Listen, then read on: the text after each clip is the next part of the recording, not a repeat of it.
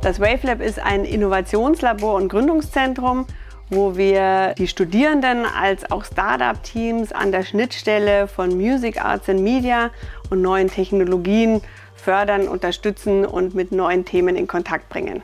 Wir haben ja ein sechsmonatiges Inkubatorprogramm, was aber drei Intensivwochen hat, wo wir die Gründerteams immer hier in München zusammenbringen.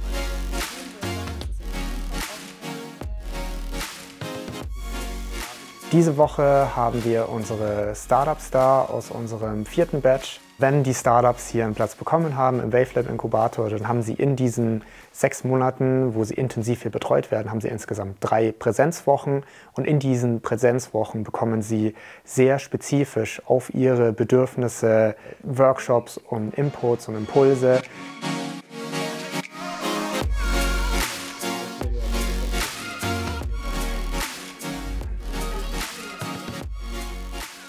Ich würde von WaveLab unterstützt in vielen Bereichen, zum Beispiel Go-to-Market Strategy oder bei der Finanzplanung oder mit Ideen vom Marketing.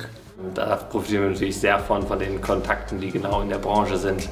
Und es ist einfach cooler, das Ganze branchenspezifisch zu haben, als irgendwie ein allgemeiner Inkubator. Hier ist es sehr, sehr wichtig, Feedback-Kultur hochzuhalten, äh, sich gegenseitig zu supporten.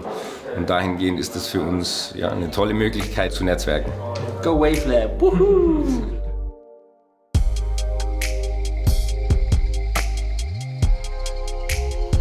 Das WaveLab ist ein ganz spezialisiertes und auf die Kultur- und Kreativwirtschaft ausgerichtetes Gründerzentrum und wir helfen eben jungen Startups, jungen Unternehmerinnen und Unternehmern, ihre ersten Schritte in die Realität zu gehen. Und wenn ein junges Team ein Startup gründen will oder schon gegründet hat und Unterstützung braucht, dann sind alle herzlich hier willkommen.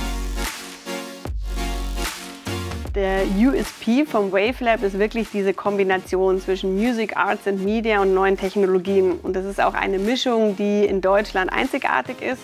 Die Bewerbungszeit ist immer bei uns im Sommer, dann ist der Auswahlprozess im Herbst und dann der nächste Batch, heißt es bei uns an Startups, fängt dann im November an.